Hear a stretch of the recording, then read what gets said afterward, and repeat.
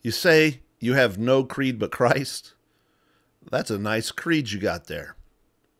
On this edition of the Patriarchy Podcast, we're going to be talking about the need for confessions and creeds, and then begin a deep dive into the Westminster Confession of Faith.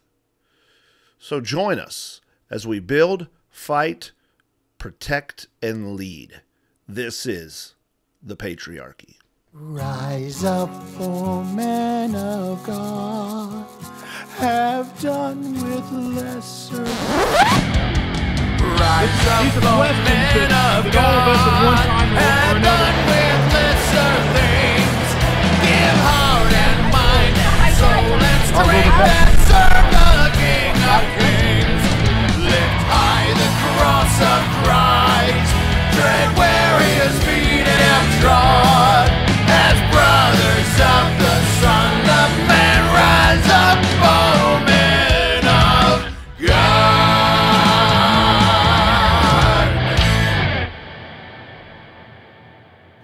If you confess with your mouth Jesus as Lord and believe in your heart that God has raised him from the dead, you shall be saved. For with the heart one believes unto righteousness, and with the mouth one confesses unto salvation. That was Romans 10 9 and 10. And I am Pastor Joseph Spurgeon. You are listening to the Patriarchy Podcast, a ministry of Sovereign King Church. Speaking of Sovereign King Church, our church is a confessional church. We are a Presbyterian church, part of Evangel Presbytery, and we adhere to the Westminster Confession of Faith. One of the goals that we've had this year at Sovereign King is to really ground ourselves in the basics of what we believe as taught in our confession of faith. You know, it's very easy in the age in which we live in with uh, social media and uh, just all the things around us to be a uh, like a blade of grass being blown about, to be tossed to and fro. There are fads that come up.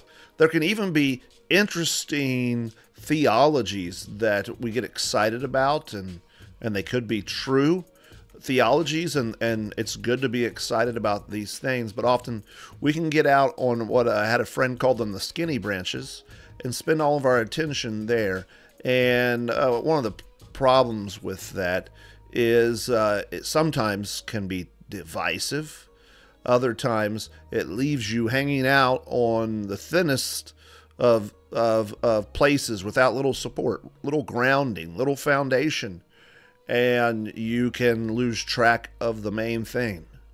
Right? The Apostle Paul instructed us to build on the sure foundation, and we want to make sure that we have that foundation established and well well understood. And, and the truth is, it would take a lifetime really to really ground yourself and really understand deeply the truths of the Westminster Confession of Faith and catechisms as they summarize all of Scripture.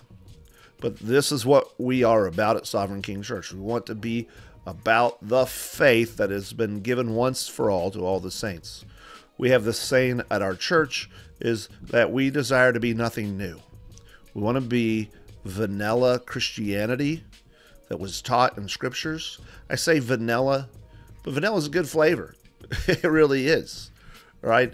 Uh, um, it's really the grounding for a whole lot of good stuff and so there's nothing boring. And actually, in our day, in which people hate God, they rebel, the, the plain truths of Scripture are powerful. They change the lives of those who hold to them, and they are hated, hated and despised by all those who hate God. And so they're constantly under attack, something we constantly need to be secure in and that's one of the reasons we even have the confession in the first place, to make it clear what we believe. And so, uh, what I want to do here uh, on the podcast is kind of mirror what some of the things we're doing at the church. We have all of our ministries right now are really trying to ground themselves in the confession or the catechisms. children's ministry, our men's ministry, women's ministry, teaching that we do. Uh, and we're going to start a series today going through the Westminster Confession of Faith. Uh, we're not going to get it all done today, not even close. Today's just the introduction. And you'll see this is a long episode. So we will be coming out with probably uh, long episodes like this, uh, just every other episode or so, diving into the Westminster Confession of Faith. There will be other episodes with other interviews and those kinds of things. But uh, I think it'll be just helpful to walk through and see uh, what what uh, Scripture teaches about the very foundations of our faith. We want to hold fast to this confession. And so I'm going to have with me today a guy that's been on my podcast before. He's been on twice, actually. He did a debate on the issue of baptism. We did a class on the nature of the new covenant. And he uh, leads our men's ministry at Sovereign King and has been working us through the Westminster Confession of Faith. So he's going to come on. This is going to be pretty deep. We're going to get pretty deep into some good discussion here today on the need of creeds and confessions. We're going to talk even at the beginning on uh, what is Presbyterian ecclesiology. Uh, it, it's a helpful kind of introduction to understand what the church government is. Now, if you're if you're from a Baptist or another background, hang out with us and and learn from us. This I think you'll still be encouraged whether you agree with every jot and tittle. Uh, that's okay. I think you can learn from us and and from this discussion and if maybe you'll have helpful things to contribute which you can leave in the different comments of uh, or send messages to us. But i think you're going to enjoy our time today. I don't want to take up any more time here at the beginning so let's get right into it. Why why start with church government maybe? Well the uh, the study that we did before we even started going through the westminster confession was kind of geared towards the needs of our our church, what we thought would be helpful for uh, the men in our church to understand and to pass down to their families. Uh, that we need to major in the majors and, and, and stop majoring in the minors so we can get all wrapped up in things like, like the baptism debate, eschatology, theonomy, politics, uh, you name it. Uh, but those things are, are we're talking about, but we need to have a deeper understanding of the essentials of the Christian faith and the history behind uh, why we do church the way that we do it. Um, so that we're not sort of blind and things are just happening to us, but we understand why we do the things that we do in our church. And we have a mixture of Credo Baptist and Paedo Baptist in our church, but we are still a Presbyterian church, and that could be confusing. So when we did our study, I asked kind of a trick question at the beginning. I asked how many people here were Baptist, and uh, we had a hand raised and we had one of our elders who is a credo baptist did not raise his hand and it caused a little bit of confusion. Uh, but the point being that we're talking about church government and not the mode and timing of baptism. That's not what really distinguishes between presbyterians and everybody else. Um, so we saw a specific need to uh, explain what being a presbyterian means uh, we live in a time where we uh, do lock arms with brothers who are Baptist. Uh, and even in our own church, like I said, we have Credo Baptist, but we do believe that the Presbyterian form of government is the biblical model. And so we wanted to start there. And uh, it's also, okay. Well, so what? Let me. What is then? Uh, what is Presbyterian? What does that mean then? Presbyterian. Well, uh, I, I, wanted to kind of use the study guide that I used for uh, our our men's group. We call it Genevan Pub, and I just kind of wanted to go through it and, and read what I wrote because I wrote it for a reason. It, it I think it'll be helpful. Uh, I've shared my screen uh, with us. So, what does it mean to be a Presbyterian? I'd like to just read some of this. It's been a couple of months since we went through it, so it, it's going to help me too. Um, Sovereign King Church is a Presbyterian church, but what does this mean? The word Presbyterian comes from the Bible and has its roots in the Greek word presbyteros, meaning elder. To put it simply, a Presbyterian church is a Christian church that is governed or ruled by spiritual leaders called elders. God has always taught us that his people need leaders, shepherds over his flock, and God provides these leaders in the various offices of the church. And uh, Sovereign King Church is a part of a, a denomination called the Evangel Presbytery. And our book of church order says this The whole polity of the church consists in doctrine, government, and distribution. And the ordinary and perpetual officers in the church are pastors or ministers of the word who are commissioned to preach the gospel and administer the sacraments. There's ruling elders, whose office is to have the government and spiritual oversight of the church, and deacons, whose office is to collect and administer the people's offerings of mercy and benevolence and to minister to their physical and material needs. In accordance with the scripture, these offices are open to men only. So, this is pretty standard uh, Presbyterianism. We have elders, and there's two kinds of elders. Uh, those that are called pastors or ministers of the word, sometimes called teaching elders. And we also have deacons. And we believe that they should all be men uh, as opposed to women, right? Yep. Uh, so, uh, Or or or uh, uh, uh, or the, the what's the always the joke we have uh, both kinds of uh, what's what's the gender joke about pastors? There's a third the third gender. Uh, that's right. Yeah, right. we, we want men, not the third gender kind. That's right. Uh, that's a sad joke. it is. Sorry. Yeah, that actually makes me think of, uh, you know, this is the patriarchy podcast. So, what does this have to do with the patriarchy?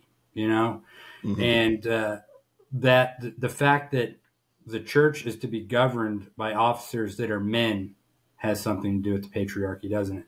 And the fact that we're going back to our roots uh, with the Westminster Confession, we're, we're trying to honor our fathers uh, by understanding the hard work that they put in to teach us and uh, the generations that came after uh, the Westminster Assembly that have uh, adopted and depended on the confession. Uh, we we want to honor our fathers, and and I think that that has something to do with the patriarchy as well. So that's a side note, but this is not uh, off topic for your channel, I guess you could say. Yep. Um, but back to the lesson here. Uh, we see the three offices, uh, officers, offices, uh, pastors. That's the teaching elders, ministers of the word, ruling elders, and deacons. The body of elders within a church are called the session. So this is some unique Presbyterian language. The the group of men that are the elders in the church, as a group, are called the session. Uh, elders are nominated and then later voted on by the congregation, as are deacons. So they're they're not uh, elders are not made just by other elders, but the congregation actually votes on who becomes an elder. So there, there's almost like a sense of checks and balances here within this. That's right, and it's similar to our form of government we have in the United States. So our uh, representative republic is actually mirrored after Presbyterian uh, church government, in that the people select representatives for for themselves, but then those rep- representatives exercise that authority. We don't just vote every time a topic comes up. The representative makes the decisions. Mm-hmm. But initially, that representative is chosen by a vote. And there are two kinds of, in a sense, representatives in in our in our. I'm thinking federal government. You have House of Representatives and senators, and I think that also is mirrored here. Um, in uh, you have two types of elders, right? You have your you have pastors, what we just call them pastors, or ministers of the word, teaching elders, and, and just like senators, they're, they're probably held to a higher they're held to a higher standard, at least initially, as far as being able to teach and uh, uh, uh, it's not I don't know if it's necessarily a biblical requirement, but it's it's a wise thing that they have some kind of formal education within uh, um, sometimes seminary or pastor's college, but some kind of teaching skills that they've been taught themselves so they can handle the word appropriately. Um, it doesn't mean that the ruling elders are not able to teach; they need to be able to teach, but there's there's just this distinction there.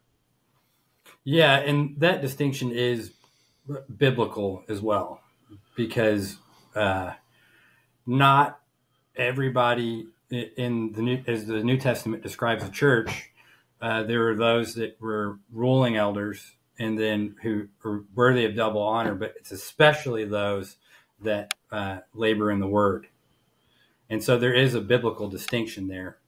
It isn't just you know practical because we don't have enough seminary graduates or something like that but it is a biblical uh, distinction.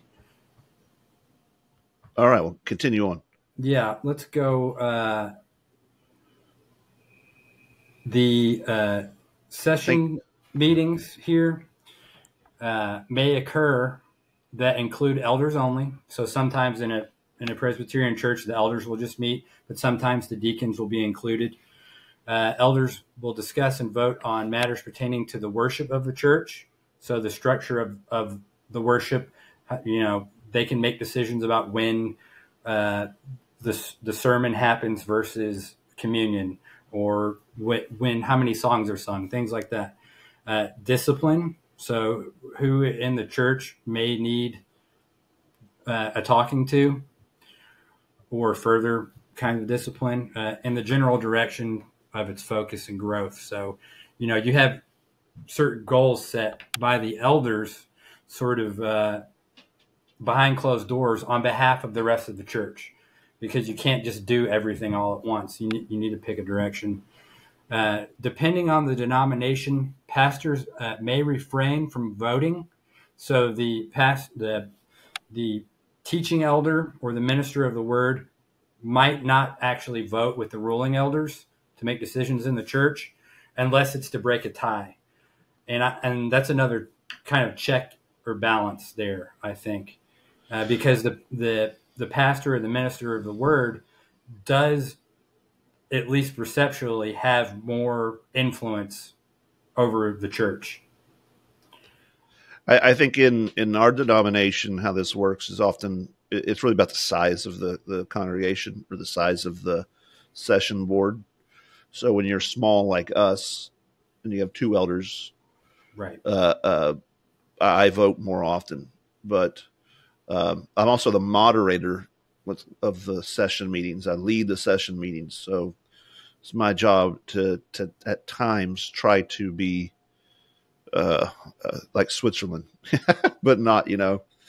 Uh, uh, I'm not necessarily neutral, but in order to try, I'm, I'm there to try to make sure that the meeting can flow and that uh, the elders are able to speak their opinion and that agreement can be made. So it could be wise to not vote. It could be wise to vote.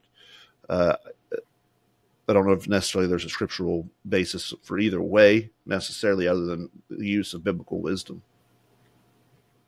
Right, and you want to avoid an abuse of your power as a a pastor yep. because the ruling elders are also ruling elders. So you, you can see the distinction be, between kind of a, a business model for churches where the pastor is the CEO and gets the final say.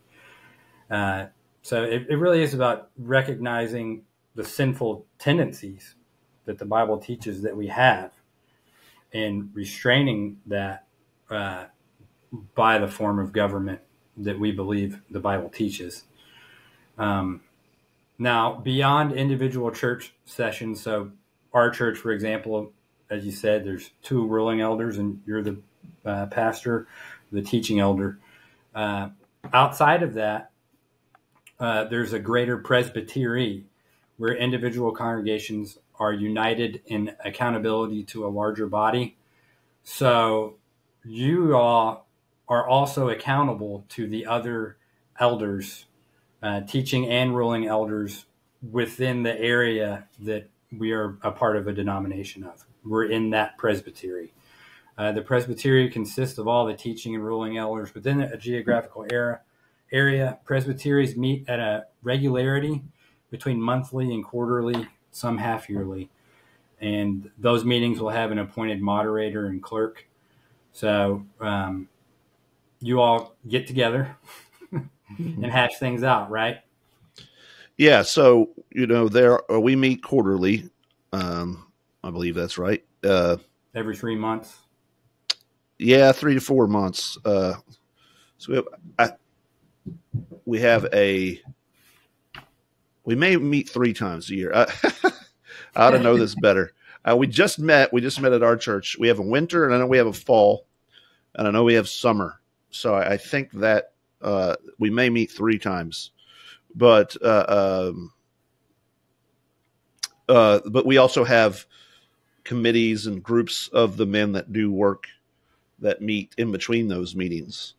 But uh, we gather together and we'll decide uh, issues of of government or that involves all the churches, or could even be discipline of a particular church or a particular pastor. Uh, could be uh, uh, in, encouraging in church planting, um, praying for each other.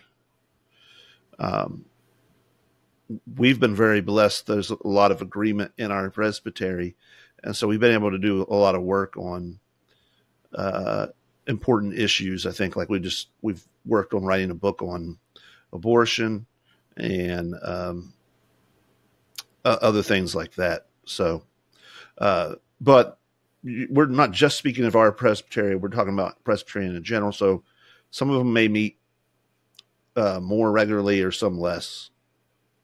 Right. And it is, it's really a matter of what works best for all the people, just making a wise decision. This isn't something that the Bible says explicitly, but it's something that we use uh, good and necessary consequence to deduce uh, what what's wise about Mm-hmm. that. So it it isn't necessarily this is exactly what the Bible says, but we're going to get to that too.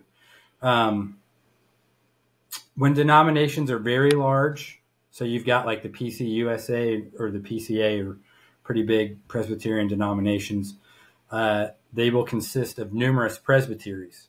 So, you know, you've got churches up in Oregon and churches down in Florida. They're not going to have meetings uh, together as it, every few months. It, it's just too difficult. So there'll be multiple presbyteries, but then uh, those presbyteries will have a, a, a court where they're all together. Uh, they're called synods and general assemblies, and the synod being a lower court, and the general assembly being the higher or the highest court for that denomination. So typically, they'll meet once a year, and Yep. they will have the, it. It will not be a meeting of all the the pastors and the ruling elders, but representatives even from within pres- the presbyteries themselves will go because it, w- it's just too many people. But they're still trying to uh, live the example that's put down in Scripture uh, for us. Well, it's, Uh, a, it's again, it's a lot like our system of courts in our own country of lo- local jurisdiction courts, and then you have appellate courts, and then higher appellate courts, and then you have the Supreme Court. And so, Right. And like you're also talking about uh, within the denomination, there'll be people who deal with different subjects. That's like committees. uh, for Congress or senators, they'll sit on different committees that just to address certain issues because not everybody can do everything, right? And that's kind of the example of uh, Moses being told to select men to help him with his responsibilities. And uh, it, that kind of comes from the Old Testament into the New, that example of appoint, appointing men to share responsibilities. Uh, so I want to go through through some text. Uh, Yeah, this the- isn't exhaustive, but this is text that uh, teach us something in bits and pieces, at least, about uh, elders and deacons and their authority and the qualifications needed for them. So I'm going to switch screens here. Uh, these aren't really in any particular order, but they have information that we can glean from them. In uh, 1 Corinthians 12, Paul says that God has appointed in the church first apostles, second prophets, third teachers, then miracles and gifts of healing, helps, administrations, various kinds of tongues. So, the important thing here, we could have a debate about if apostles still exist or tongues or gifts of healings, but the important thing for this discussion is that God appointed teachers, helps people to help the church. Everybody's supposed to help, but this is a certain uh, kind of person that's appointed, in administrations. Administrations is like um, managers. Uh, Acts 20, uh, 17, from Miletus, he sent to Ephesus and called to him the elders of the church. Be on your guard for yourselves and for all your flock. The Holy Spirit has made you overseers to shepherd the church of God, which he purchased with his own blood. So we're, we're being taught here by Paul that uh, he appointed elders uh, and that they're called overseers, and their job is to shepherd the church of God. So we know that Jesus is the great shepherd, right? But he also appointed people to be shepherds of the church of God. Uh, Jesus purchased it with his own blood, he says, but then he appoints people to help manage it. Uh, Romans 12, Uh, stop to just for just a second. This is Yeah. a very important uh, thing. Is that if you noticed here in both of these, we said earlier that the church votes and select them as representatives, and there's a truth of that in which they are selected or, or voted on by the congregation. We can talk about they're why approved, approved of. approved by it, but who is the one really appointing or making the elders? Well, as you just said, God appointed, and then the Holy Spirit has made you overseers. That's very important because, as I read it as a pastor, it, it hits me on two fronts. One is since God has done it, I, I that's who I answer to yes, the church has voted and has approved it, and that I think God works through His church to show who He has made overseers. So God works with His people to to do this, but God is the one that does it, which means, uh, unlike we've said, it's like our civil government, but unlike the civil government, my job is not to pander to different voters and and have constituents and uh, um, to uh, think of myself constantly as a representative of the people. Rather, it's to be reminded that people's voting was God's use of putting me in office that I answer to God. And so uh, he will hold me accountable, which is why it's a very important thing.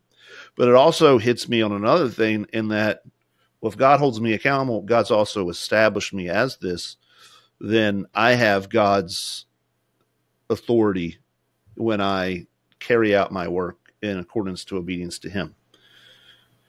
Right? So uh, I can preach with not my own authority, my own charisma, that my own all that. Uh, we can make decisions on discipline, not from my own weaknesses and all those things, but with the authority of God. And that's why we'll see later on that you're supposed to be subject to your elders. You're supposed to obey. It's because the Holy Spirit made them overseers. And when you disobey your overseers, you're disobeying the Holy Spirit. That's a big deal in Scripture. All right, keep going. Yeah. So there, what's the Spider-Man quote? With great power comes great responsibility. It's kind Yep. of the balance you're talking about there. If if it is God who has appointed you to that position, and that's what Acts 20 just says, the Holy Spirit has made you overseers, then you answer to God. But the the other side of that is if you are doing your job as an overseer uh, in an honorable way, then the people that you're shepherding, your sheep, should listen to you and, and honor that authority. Uh, let, let's go on and get through some of these texts because it'll teach us more about it. Uh, Romans 12, starting at 6. Since we have gifts that differ according to the grace given to us, each, is, each of us is to exercise them accordingly. If prophecy, according to the proportion of his faith, if service in his serving, or he who teaches in his teaching, he who exhorts in his exhortation, he who gives with liberality, he who leads with diligence, he who shows mercy with cheerfulness. So I've highlighted uh, these, these aspects of what is expected out of elders uh, to teach, exhort, and lead. And these are gifts, which means they have to be given by God. And not everyone has them okay, because uh, they differ according to the grace given to us. Uh, and also, this section, uh, he who gives with liberality, is, is often taken to mean actually the office of a deacon, because it is the deacon's responsibility to give to the members of the church that are in need. It isn't just that's the congregation giving to the church, but the church gives back. Uh, 1 Peter 5 Therefore, I exhort the elders among you as your fellow elder and witness of the sufferings of Christ and a partaker also of the glory that is to be revealed. Shepherd the flock of God among you, exercising oversight, not under compulsion, but voluntarily according to the will of God, not for sordid gain, but with eagerness. Uh, nor yet is lording it over those allotted to your charge, but proving to be examples to the flock. And when the chief shepherd appears, you will receive the unfading crown of glory. You younger men, likewise, be subject to your elders, and all of you clothe yourselves with humility toward one another, for God is opposed to the proud, but gives grace to the humble. So, just in this section alone, uh, it's interesting that Peter calls himself a fellow elder. So, even though he was an apostle, uh, he was a fellow elder to those other elders that were not apostles. So he was in he was in the office of, of an apostle. We know that he was an apostle, but he also held the office of an elder. And so there's a distinction between the two. Uh, and uh, he's told that the position is voluntary. Uh, it's according to the will of God, and he tells the younger men to be subject to the elders. That's what you were talking about earlier. The the authority that's given to the elder means that those under him should be subject to them. Now, this is similar to uh, Romans 13, right? Uh, the um, authority is instituted by God. That's talking about the authority that wields the power of the sword. That's the civil government. But in the same way, the authority within the church, you're supposed to be subject to that as well. And interestingly enough, in that section of Romans 13, uh, the civil government is called God's deacon. It says God's servant in some translations. It's actually Mhm. the word for deacon. Um, I'm going to go on. Uh, 1 Timothy 3.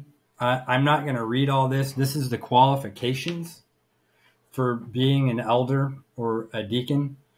Uh, and so, one thing that this teaches us, apart from how a person should be if they're put in that position. It does teach that, but it teaches us that that position is an office. If you look at verse 1, it is a trust, trustworthy statement. If any man aspires to the office of overseer, it is a fine work he desires to do. And then it gives the qualifications. So we know that an, an elder isn't just like an older person in the church that is a little bit smarter and wiser that everybody looks up to. This is an actual office that exercises authority. Mhm. Uh, and likewise, uh, deacons hold an office as well, and they have qualifications similar to that of an elder, really. Uh, Titus 1 For this reason I left you in Crete, that you would set in order what remain what remains and appoint elders in every city as I directed you. Uh, so here Paul is telling Titus uh, to continue to uh, appoint elders in every city. So we know that the office of elders was supposed to be in, in the churches everywhere. This isn't just a uh, isolated thing to um, like a, a hierarchy thing, but there's elders everywhere.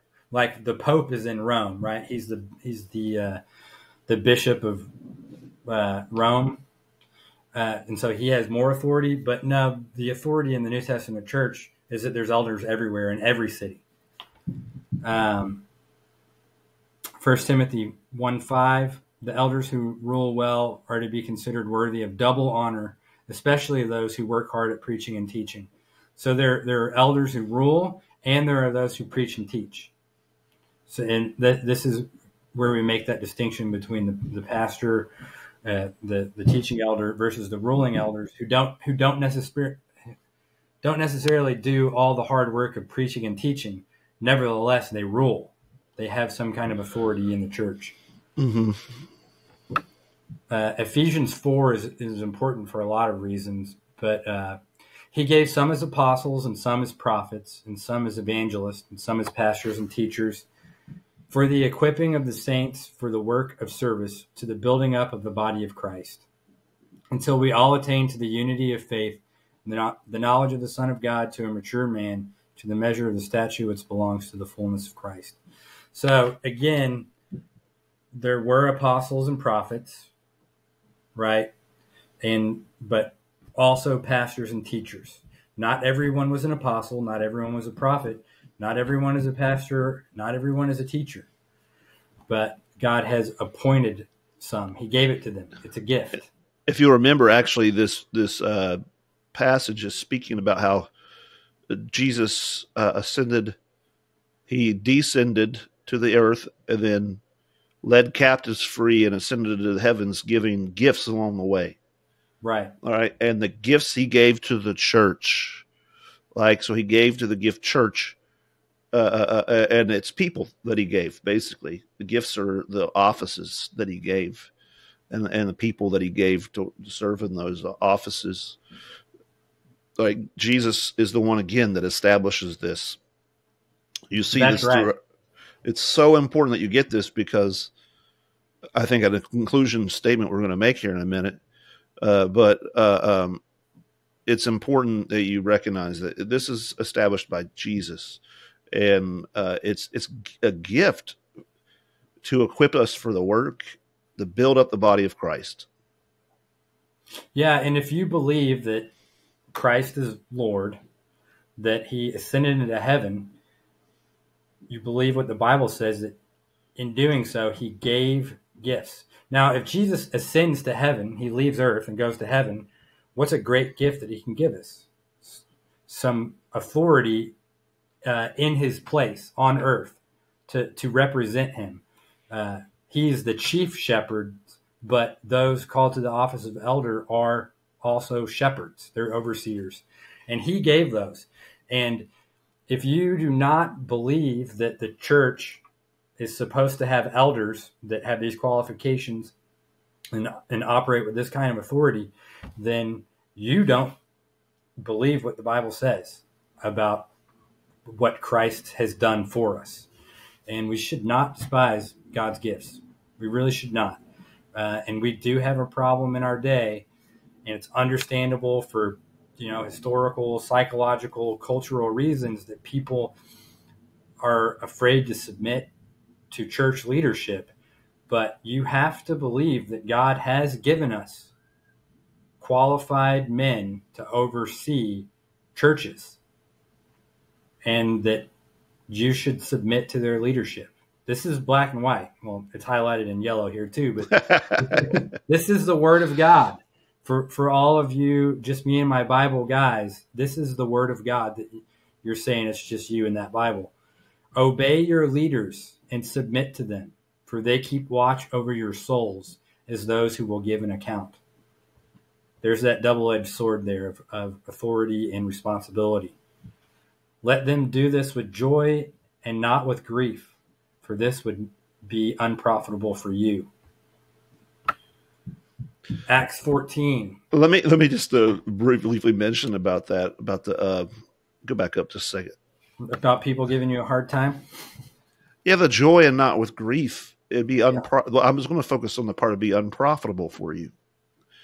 All right. The again, if these are gifts God gave the church to build us up, then if we submit to the leaders God gives us and we do it in a way that makes it joyful and it's profitable for us. Right? When we bellyache and we grumble or we fight and we resist, it's unprofitable. It gives it gives pastors grief, right? There because true shepherds of God's people are going to love the people that God has given them and it grieves them. We we're, we're going through First Samuel, and um, we just finished on where Saul has been rejected by God, and yet it says God, it grieved God, hmm. and it grieved Samuel. And if you grieve your pastors and elders, they're they're they're men. They're not supposed to do this so much, but they will give up on trying to help you, and then it won't be profitable for you. So we want it's it's it's amazing that that's what it connects it to. It's not that it'll be profitable for the the leaders, right? Right. Are, just make things easier for them. There's false teachers who want that so that it will be profitable. You know what I mean, like that. Right. But the real point of this is it's profitable for you to submit to those who keep watch over your souls. Anyways, go. Uh, uh, Right. So that, I, that's where the gift part comes in, right? It's yep. there to teach and to lead and to oversee and to shepherd you for your sake. And unfortunately, yeah, there are people that take advantage of this position. That's why there's qualifications in there, and and that's why there's also uh, checks and balances and oversight, so that those wolves in in sheep's clothing that Paul warns the church in Ephesus about in the book of Acts he warns. It's right after the, what we read earlier. Uh, he warns them that uh, from amongst themselves will arise wolves. Well, what's the shepherd supposed to do? Protect you from the wolves, protect the sheep from the wolves. And God has put that in place. You need to trust God uh, that He's done that. And there are people uh, qualified and eligible for this. Um, otherwise, what are we doing? What you know, are we are we playing church, or do we believe that God actually made the church, and he and he is growing and maturing that church? Do we believe that? Uh, Acts fourteen. Uh, this is just another verse that uh, in verse 23 when they had appointed elders for them in every church so the elders should be in every church in every congregation and another thing that we learn from this the structure uh, is that there are many churches, but it's just one church. Right? We, we have to derive that from what we've learned in the scripture. Just because there's every church, there's a church in this city, there's a church over here, the churches have different elders in them, but they're still all a part of the church, the one that's purchased by the blood of Jesus that Paul. Uh, so what you're saying is there, there's not in scripture the autonomy of the local church. That is this separation of churches, and each church does exactly what it wants to do, and without any disregard or without any regard to the other churches. Yeah, the rest of the body. each church is a body, but the church is also one body. So you are a part of other churches. Now we have so much denominational conflict and differences, but as Presbyterians, we do our best to uh, live the example of the New Testament church by being part of presbyteries, by being uh, having sister churches that the elders are a part of larger bodies. We're, we're trying to, to live out the commandments the scripture gives us.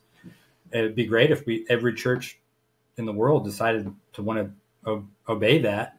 But right now, we're at least trying with the churches that do. One, one more thing about this verse I'm thinking of it says, when they had appointed, who was they? It, it was the, the, it was the apostles here, right? Right. And so, but it's interesting is that we said earlier that it was the Holy Spirit that appointed. The Holy Spirit did all these things. God did this. Jesus did this. But now it's they had appointed them. And so what we're seeing is this uh, that God works through his church, through his people, and particularly through the apostles in establishing this. But the apostles call themselves fellow elders. We, we see that in other passages, and we're about to see it in Acts 15. And the point is that uh, God works through the church to appoint his leaders, and when they work, it's the Holy Spirit working. Uh, the Holy Spirit works through his people. Right. And so that's the means by which the Holy Spirit is working, is the apostles and the elders, uh, the the teachers, the deacons, these offices in the church. God is using them as a means to work in the church Himself. Uh, we are the temple of the Holy Spirit, right? Mm-hmm. That not just individuals, but the church itself. Uh, let's read Acts 15. See if I pull it up here. That's six. We'll go to 15 here. It's long. This is the uh, Council of Jerusalem. So they had the conflict. Uh, there, some men came down from Judea and began teaching the brethren, brethren, unless you are circumcised according to the custom of Moses, you cannot be saved. So they've got this problem in the uh, early church, the uh, the circumcision party, as it's called elsewhere. And how are they going to solve this problem? How do we solve this conflict? And this is a great example for how we should solve theological conflicts within the body of Christ. Paul and Barnabas had uh, great dissension and debate with them. The brethren determined that Paul and Barnabas and some others of them should go up to Jerusalem to the apostles and elders concerning this issue.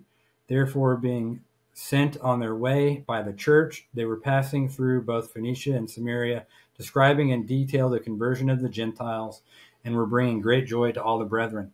When they arrived at Jerusalem, they were received by the church and the apostles and the elders, and they reported all that God had done with them. But some of the sect of the Pharisees who had believed stood up, saying, It, it is necessary to circumcise them and to direct them to observe the law of Moses. The apostles and the elders came together to look into this matter. Why don't you That's- stop right there just a second, Zack? Yeah, Back up just a little bit. We see there's this issue going on, and the local church sends its leaders, Paul and Barnabas, to gather with the rest of the broader church. Uh, And it's very important that it's the apostles and elders That's right. concerning the issue. Now, we know the apostles are the ones that had the authority to write scripture and they led. But in matters of issue of church government, we see here that the apostles and elders are deciding these things together. Right? These are the apostles have determined to give the authority of church government to the elders, and we see them working together in this. And they are received in Jerusalem by the church which that's important to think of what church in Jerusalem. I'm sure there were many local congregations.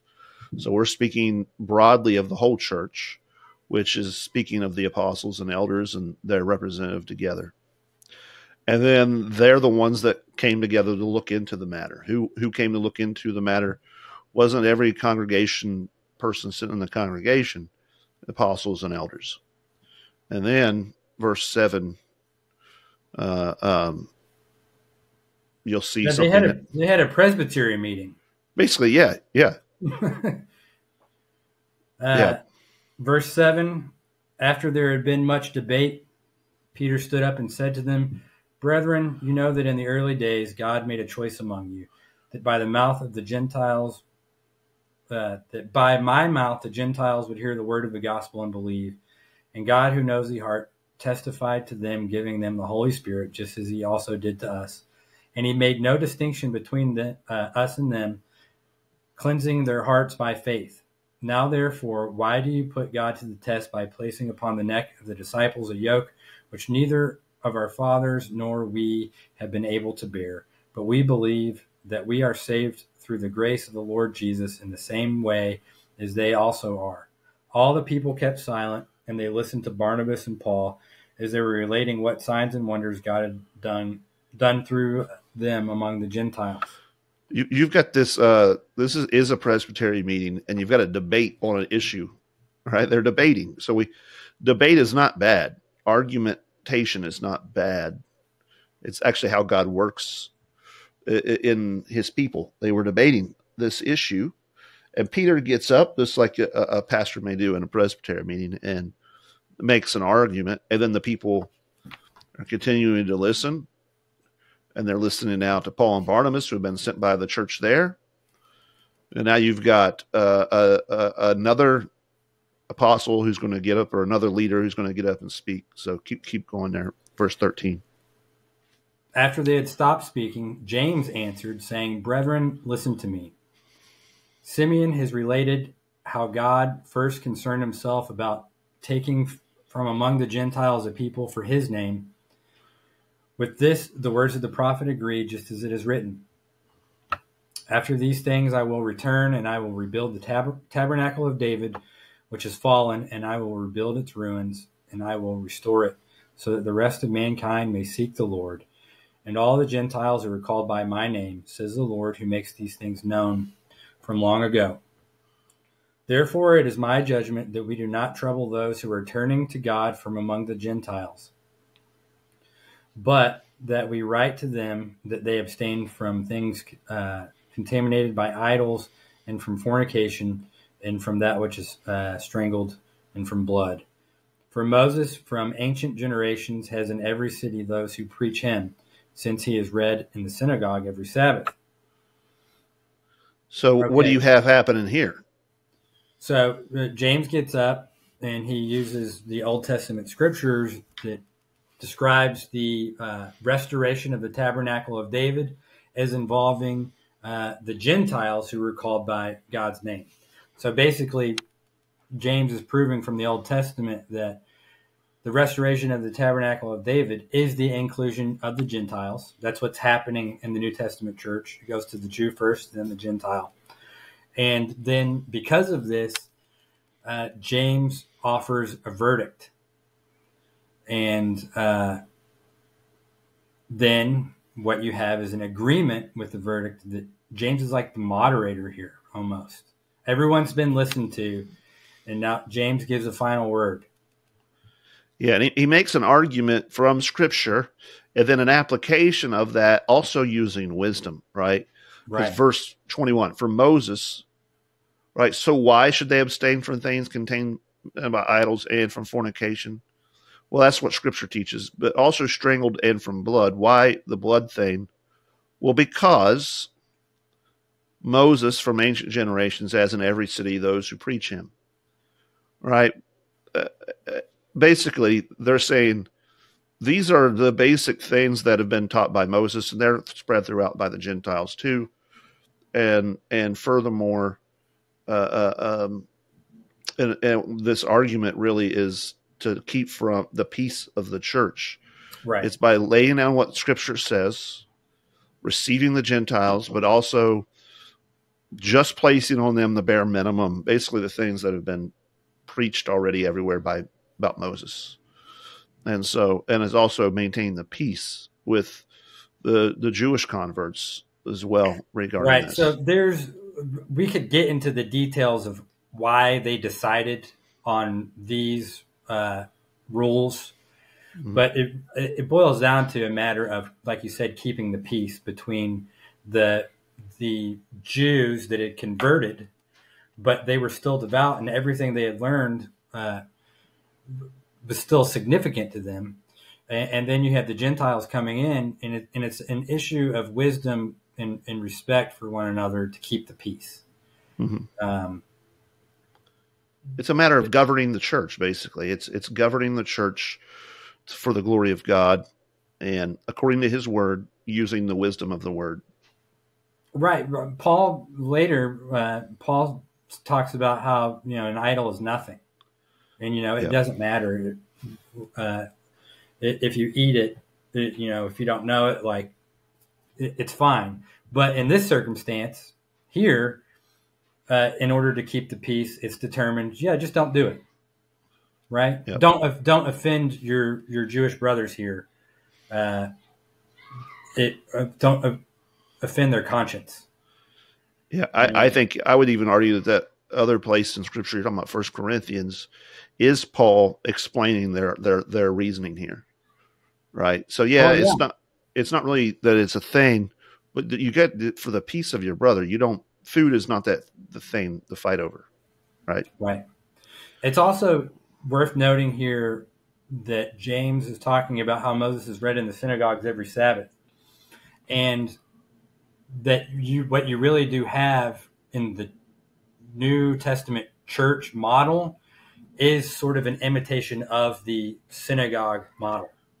The church is not uh, just a replacement of the temple system, but you know Jesus goes and reads in, in the synagogue. James here is referencing uh, how Moses is read in the synagogue every Sabbath, and the the church's meetings sort of imitated that synagogue system, even though it wasn't explicitly described or ordained by God in the Old Testament to have these synagogues. What you have is an outworking of the principles of Scripture that helped form that synagogue system for the Mhm. Jews. And the, the New Testament essentially approves of it and imitates it. That, that's kind of a side note, but it's interesting to think about. verse 22 is where we left off there Right. Then it seemed good to the apostles and the elders with the whole church to choose men from among them to send to Antioch with Paul and Barnabas. Judas called uh, Barsabbas and Silas, leading men among the brethren, and they sent this letter by them. The apostles and the brethren who are elders to the brethren in Antioch, Syria, uh, Cilicia, who are from the Gentiles, greetings. Since we have heard that some of our numbers to whom we gave no instruction have disturbed you with their words, unsettling your souls, it seemed good to us, having become of one mind, to select men to send to you with our beloved Barnabas and Paul, men who have risked their lives for the name of our Lord Jesus Christ. Therefore, we have sent Judas and Silas, who themselves will also report the same things by word of mouth, for it seemed good to the Holy Spirit and to us. wait wait a second what Go ahead. right. Where uh, where was the Holy Spirit when he said this? By the way, did he show Yeah. up, or are they operating under the assumption that the Holy Spirit is guiding them yeah It when, seemed in the work of the church yeah in the work of the church? That's right. It it seemed good to the Holy Spirit and to us to lay upon you no greater burden than these essentials, that you abstain from things sacrificed to idols and from blood and from things strangled and from fornication. If you keep yourselves free from such things, you will do well. Farewell. So the Presbyterian meeting resulted in a letter that is essentially a command to the churches. It, it's binding to them. Uh, it's no greater burden than these essentials, but they are still essentials, and those essentials were still binding on those churches. So they they had authoritative. They made an authoritative decision at this meeting of apostles and elders. That bound other churches that were not there. That's right. they weren't like- there. Not Or- or maybe a they're- congregational meeting. Yeah. Now, they did have a congregational meeting about it next, if you read verse 30, right? Right. That's right. They gathered with the congregation, uh, congregation and delivered the letter, and they rejoiced and were encouraged by it. So uh, the information was delivered eventually to the whole congregation, but the decisions and the authority uh, existed with the elders and and the apostles at the time, who equated themselves as fellow elders. And then look at verse 32. You got you got to include this verse. Just- Okay. Judas and Silas, also being prophets themselves, encouraged and strengthened the brethren with a lengthy message. I just wanted to see the lengthy message, right? Right. they encouraged and strengthened them with a lengthy message. So there you go. yeah, don't get too bogged down just because something is uh, long and in depth or, or takes time to study. Um, be encouraged by it and strengthened. Keep keep scrolling down a little bit. It might be in the next chapter, but uh, uh, there's another section that deals with this this one more thing. Keep going.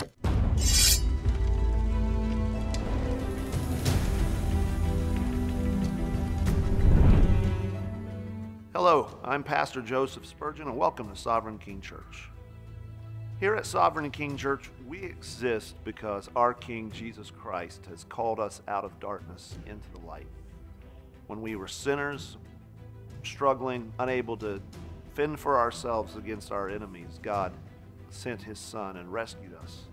And so we exist because of Jesus. Jesus is the sovereign king. We exist to confess that Jesus Christ is king. And we're going to proclaim that Jesus Christ is king to all the world. And therefore, we're going to also build our lives, construct our lives on what Christ has done for us, and construct our lives on the commands of our king. wherever you're at in your spiritual journey, there's a place here for you. You don't have to agree with all of the things that we preach here. So wherever you're at and, and how you know God and who you know him to be as the scriptures command, there's a place for you here because we're all going to get from one level of glory to the next. All of us started out from a you know bare bones foundation and we've grown. There's a place for you to serve in Sovereign King Church.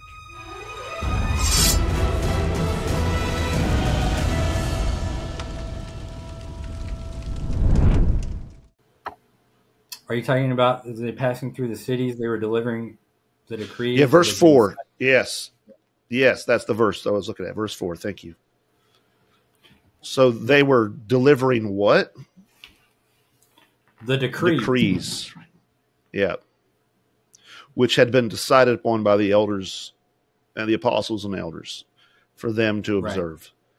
And the churches were strengthened in the faith and were increased in number daily by the work of that presbytery meeting. That's right. So we we what we get from this is a model for how the church should deal with disputes and issues. Um, this isn't just a one-time thing because the church still has disputes and issues. Uh, we have different kinds of debates today, and we've had different kinds of debates in the past. But what Paul tells us in Ephesians, I believe it was chapter two earlier, uh, is that the church is growing in maturity. These disputes and issues lead to resolutions that strengthen the church and grow the church. That's what we learn from uh, Acts 15 and then going into 16 here. So uh, I want to get back to talking about uh, Presbyterian government. Now, th- uh, it's not intended to be exhaustive, but introductory. This this conversation we've just had is really introductory to the concept of Presbyterian polity. That is another word for church government. Uh, I would recommend as a, a good, uh, excellent discourse on Presbyterian polity. There is this uh, book the divine right of church government. What's it called in Latin? Jus divinum regiminis ecclesiastici. See. Good. All right, good job. Thanks. Uh, and uh, it is for free online. Uh, the book's authors were a collection of sundry ministers of Christ within the city of London. Uh, this was a ti- uh, at around the time of the writing of the Westminster Confession, uh, 1646. And uh, there's another thing, but let's look at this. This is for free online on purelypresbyterian.com. Uh, especially the last chapter, it's the conclusion it's called Proof That Presbyterianism is Biblical. And it's written in the form of questions and answers. And uh, we're actually going to read some of this here later down the line. But I recommend that. And also, uh, there's another work. It was, it's the first uh, published commentary on the Westminster Confession called Truth's Victory Over Error uh, by David Dickson. And that was in 1684 and uh, chapter 25 is called of the church. This this is for free. This is actually the university of michigan's website. For some reason it has a good version of this. Uh, chapter 25 is on the church.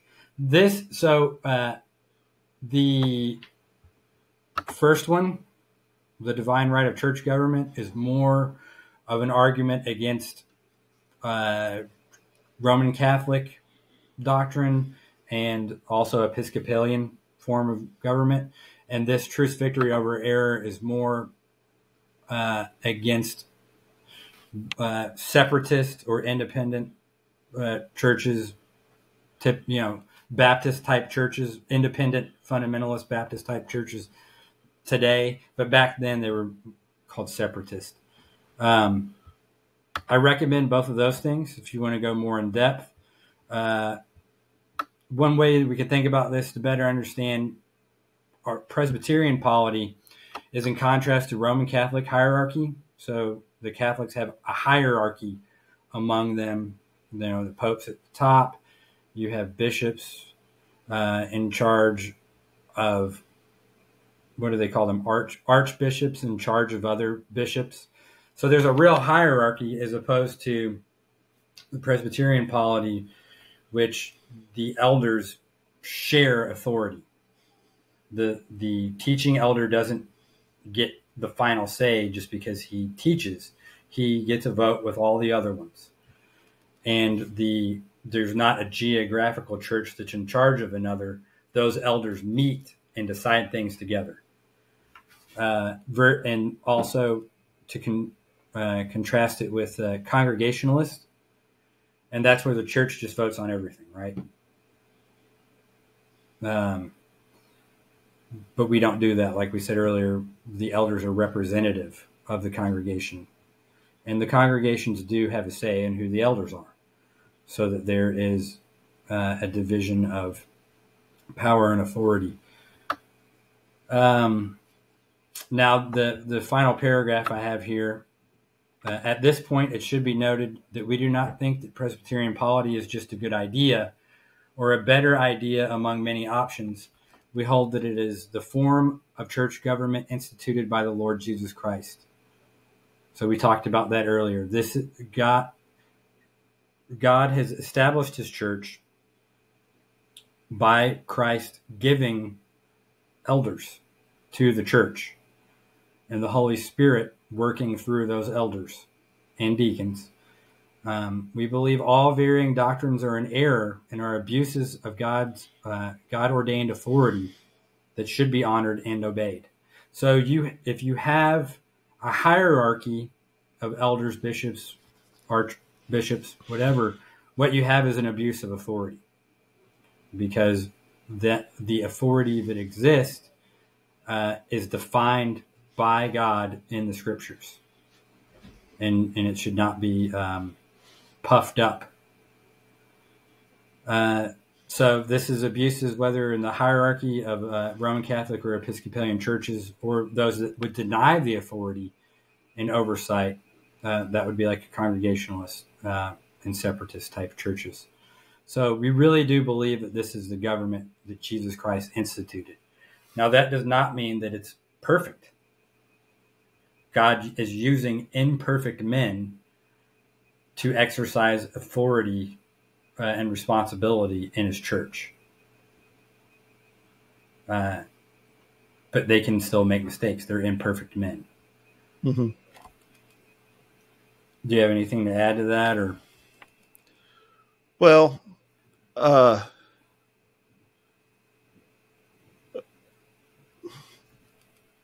what would you say? I mean, we're what we're not saying here is let me just say what we're not saying is that necessarily that the Episcopals or the let's say the Independent Fundamental Baptist or they're not a church or that this error is such that it leads to the denying of Christ necessarily.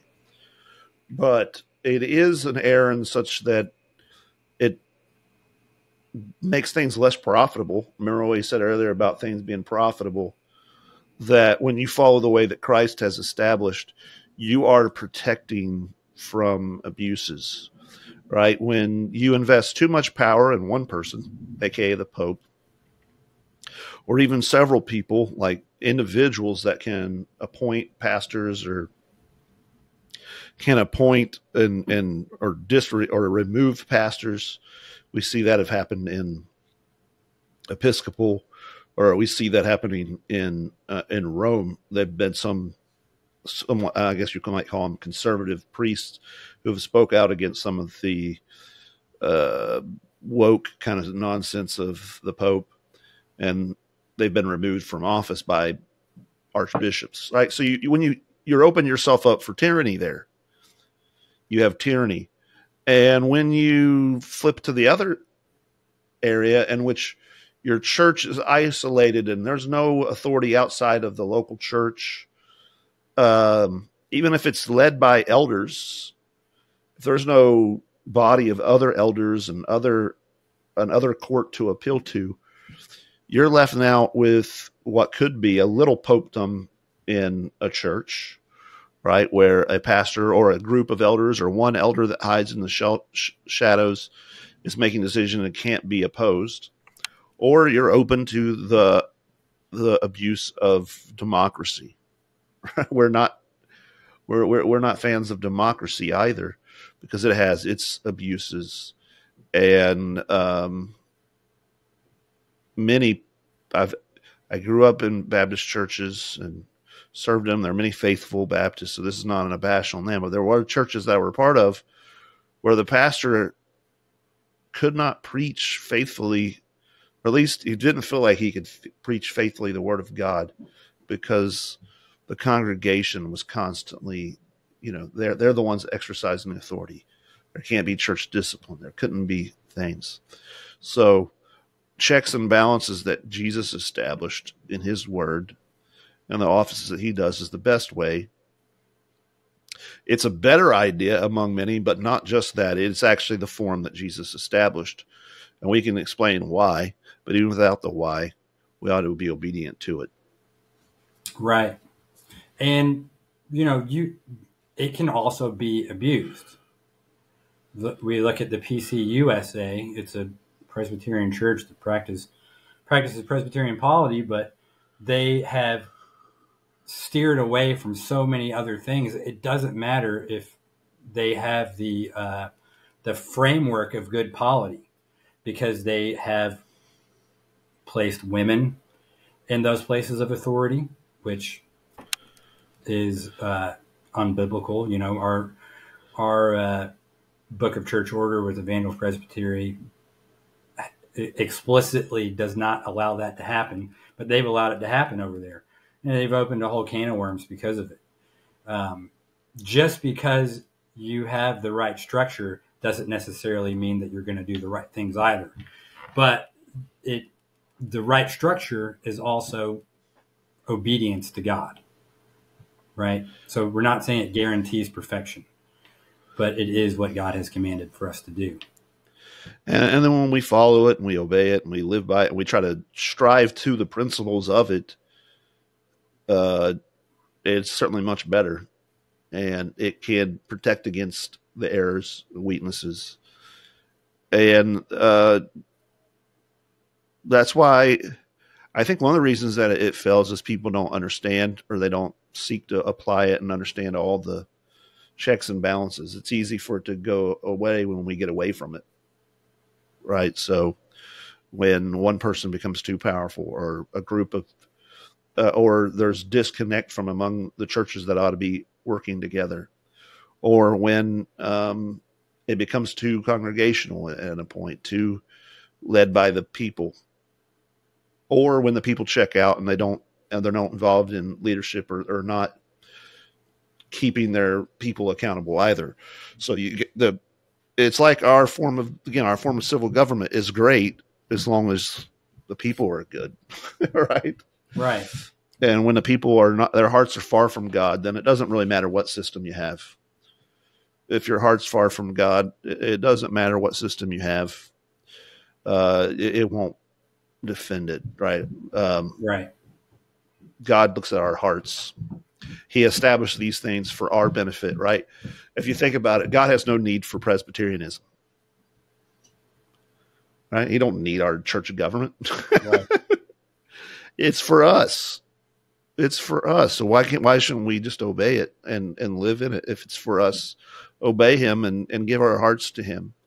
But not to mistake that then thinking, okay, well if this is for us, then you become like, well, a slave to the this thing while your heart's away from God. Well, we kept our our Presbyterian principles as we followed the government thing to a T and that's why we've ordained Sally Jim Bob over here, who's a half man, half woman thing. right. So you're you're obeying one part of Scripture, but not another. Yep. You're not taking into account the whole counsel of God, and yeah. uh, that's that's not going to profit you. But we, we need to try to obey God, God's entire counsel, mm-hmm. the whole Scriptures. Um, well, hey, we we are at an hour and 13 minutes, and we are on part one of three parts for this introduction thing. That's right. Uh, That's fine. Let's keep going, man. And then if I need to, I'll cut these up into to uh, different podcasts. But that's what do you think? We can finish up in an hour. Uh, finish up on eh, maybe. All right, let's go through it. Let's let's do it. Okay. So uh, the next thing we talked about in in our own church's uh, study, um, it because we're going into studying the Westminster Confession is just about creeds and, and confessions in general. Uh, rugged individual individualism is a common mindset among many American Christians. Uh, while there are good reasons to be competent, self reliant in some areas of life, it is not God's plan for us to be so isolated and prideful that we neglect our place within our community and in history. So, uh, this principle applies to Presbyterianism as a form of government, but also to just our place in, in time and history. Uh, through the years, God has grown and matured his church, and one of the ways he does so is in the maturity of understanding and doctrine. Uh, that's uh, Ephesians 4. That's what we read earlier. You know, going back to that that thing about individualism and, and knowing our place, I, I think uh, we could do a whole episode on this. But the the the the thing is, I think we look at our culture, we look at everything, and how it, there's just sinfulness and wickedness, and our tendency is to retreat into ourselves and maybe just our family, right? And uh, yeah, and then we, we begin preppers yeah. You know, that's one tendency. And we see everybody else. Uh, here's the issue with it it's not that everybody else is not corrupted. They are. We all have a sinful nature, but that's how we tend to see everybody. Like everybody's a part of this. We we recognize the system sucks. Like it's terrible. Like uh, uh I the, the we just had the State of the Union thing with uh, President Biden, and that was a disaster. And then the Republicans come out with this little response to it was like a SNL skit. Uh, it was like uh, I don't know if you saw that, Zack. It was like this woman. Uh, somebody recently put the Sarah McLachlan song behind it. You know, the Arms of an Angel. So it sounds like the right. the adopted pet thing. It's just a disaster. And so we all see that out there and we're tempted to grow bitter about it. And so now everybody out there is corrupted. The only person I can trust is me because I'm not corrupted. Which, what does scripture say? The human Well, heart is wicked, right? Who can, Right. All of our hearts are wicked. All have sinned. which is why you can't, you- won't, you can't, you can't escape the issue by retreating within and, and becoming a prepper out in the middle of the woods. It doesn't mean there's never a place to live out in the woods and, Or a home do- church. Just Yeah. do home church. Yeah. Just me and my family. That'll solve the issue. But does it really? No, because it's all there's all inside you enough to destroy the whole world three or four times Yes, there right, is. within your own heart. Uh, there's this movie that I, I love. It's called The Village. You ever seen that? That uh, M. Night Shyamalan? Yeah, it's one of his things. It didn't receive like uh, people kind of hated it at the time because the commercials for the trailers made it seem like a big horror movie. But uh, I liked it.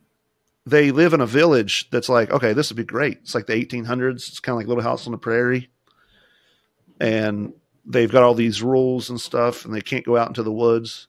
And sadly, one of their own boys kills one of the other boys, and they've got to send somebody out. And they find out that well, actually, it's not the 1800s; it's modern life, and these people have retreated and created their own village to try to escape all the evils out there and it followed them right into their own village with the murder coming from one of their own sons. Right. And I, I that's a good lesson because I'm tempted that way. And so as we think about this, the reason I'm diving into a little bit more is you need the church. The church needs each other. It's God is sovereign. He knows how wicked and stupid and sinful, how we will abuse each other.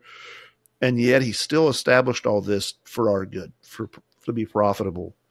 And so it's not just me and my Bible under the tree somewhere. It's me living in community with the people God's given us, being faithful, and the scriptures are given to the church.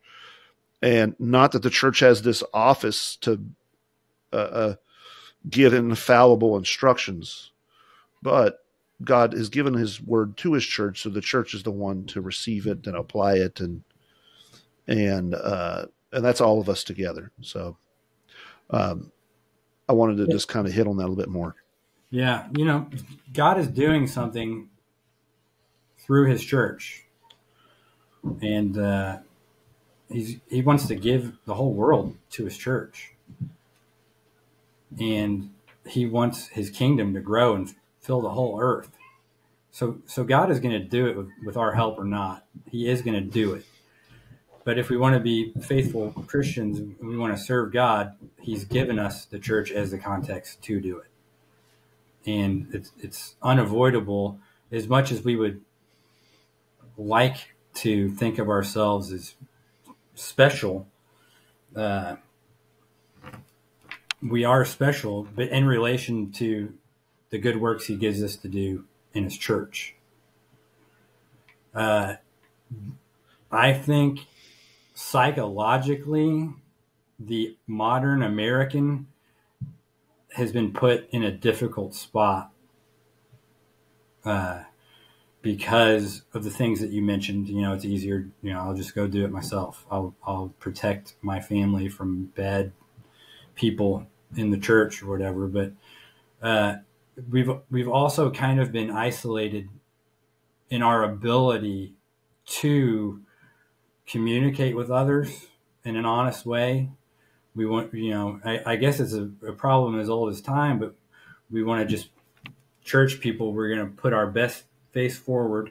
We're not going to admit that we have problems. We're not going to confess our actual sins to each other. You know, I'll tell you about the typical sins, you know, we all have, but I'm not going to confess this sin that I did uh, because it'll make me look bad. And so we, it's hard for us to do church, but God calls us to to do church, not just play it, but to do it, to really act out these things with each other. And it's hard. It's messy. It's ugly. And I don't even know how we really do it other than we try. You know, go have dinner with somebody, see what happens. You know, go spend some time with some people. Uh, see what happens. See what God does. Because He will do it one way or another. And uh, as Christians, we should want to be a part of that. Um, but a part of that, and what we're talking about here, is uh, how God uses creeds and confessions. It's, it seems odd, but you know, people have done all this work in the past. The church has done all this labor and work, and if we ignore it, then, uh, we're, we're making it in vain. But what God does through His church is not in vain. Um, doctrines have been developed over centuries by godly men passed down for our benefit through the creeds and confessions of our past. Now we all we believe all creeds and confessions are under the authority and scrutiny of the Word of God. They are nevertheless beneficial to every generation. We do not simply start from scratch with every new convert, just a man and his Bible. But we build upon what God has given us through the gifts of learned teachers in our past. Creeds and confessions serve as guardrails also for our understanding of Scripture that link us to the faithful believers of past generations and unite us with like minded believers today, uh, alive today. So there, there's multiple benefits to adhering to uh, the creeds and confessions of the past. So think of the hmm. Apostles' Creed, the Nicene Creed, Westminster Confession. Um, there's benefits. You automatically know if your if your church or if you as a person says, "I believe, I adhere to these things," you automatically have fellowship with someone else who does the same thing. That's one benefit. Um, and also, you are protecting yourself from error. So we don't know everything about everything, even though sometimes we like to think that we do. But you haven't studied everything. You you don't know every single perspective on every issue. Just because you listen to a podcast or whatever, you don't know. But the people who sorted these things out in the past, also with the benefit of having other checks and balances on them at the time and, and through time, um, you can protect yourself from error. So if you have a uh, Nicene view of uh, the nature of God and the nature of Christ, that's going to protect you automatically from the errors of Mormonism, Jehovah's Witness cults. Uh, if if you believe in the Apostles' Creed, that's going to protect you from errors going towards, like, say, Islam or another false religion uh, that, that claims to be of the Abrahamic faith. It's going to protect you. Now, uh, what about the Westminster Confession of Faith? It's so big. Apostles' Creed is so short and so simple, right? Nicene Creed, a little bit longer, but still pretty simple, straight to the point. We get something like the, the Westminster Confession of Faith. It's larger. It can be in, uh, intim- uh, it can intimidate us. Um, and I think our tendency is to really judge it. I've noticed that about myself in studying it. Like I'm just waiting. I'm going to find what's wrong with this thing, but uh, it really is uh, faithful. It's a faithful document. It's a faithful confession. Uh, so our actual our church's statement uh, goes like this It is the duty of the church to publish what it believes from the Word of God. So we can just say, I just believe the Bible. Here it is. But, you know, what does that lead to? Well, I believe the Bible too. Well, then you just argue about what it means, right? Uh, but then our, our church, our denomination, uh, we adhere to the Westminster Confession of Faith together with the larger and shorter catechisms and the apostles and Nicene creeds. We hold that these confessions and creeds are faithful summaries of the basic fundamental truths of Scripture. And I have that in bold here because Uh, they are summaries. We still, a part of our church's constitution is actually the scripture, right? The whole word of God.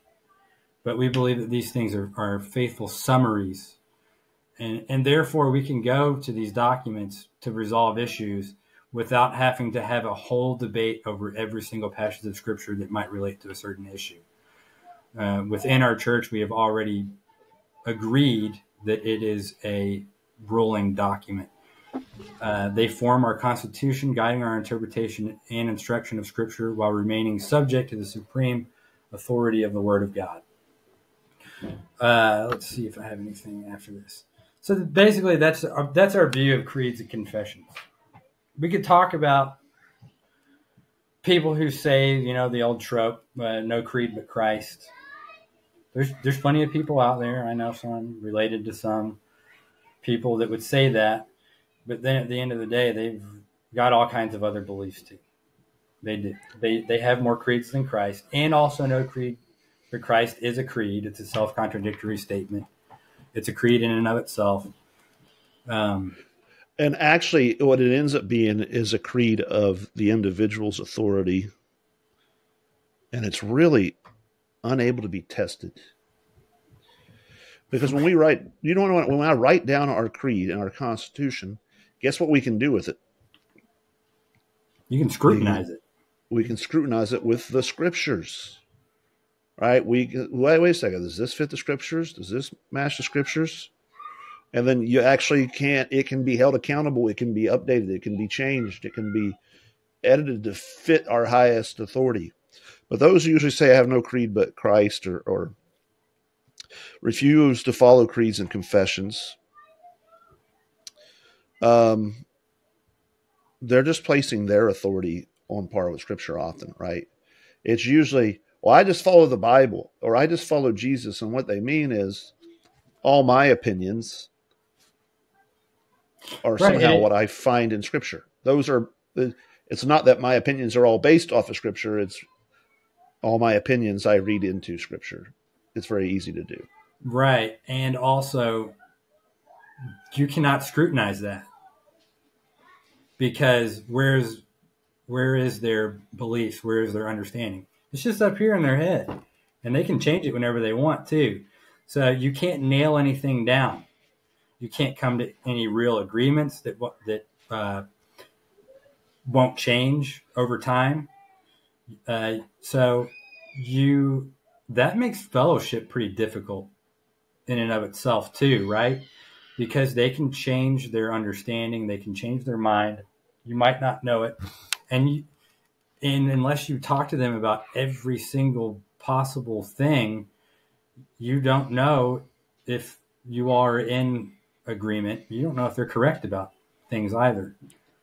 Well, by having it written down, uh, you're able to now work together right because now you have the the lines of our our unity are spelled out for us right that's why uh, uh, creeds and confessions don't go into every single detail there is to to know about what scripture says or every position because then you'd be dividing over even smaller issues but they give you the big broad things they give you truths that are important that enable you to work together it enables you to hold your pastors and elders accountable, right? Because now you know this is what we say we believe that the scriptures are teaching.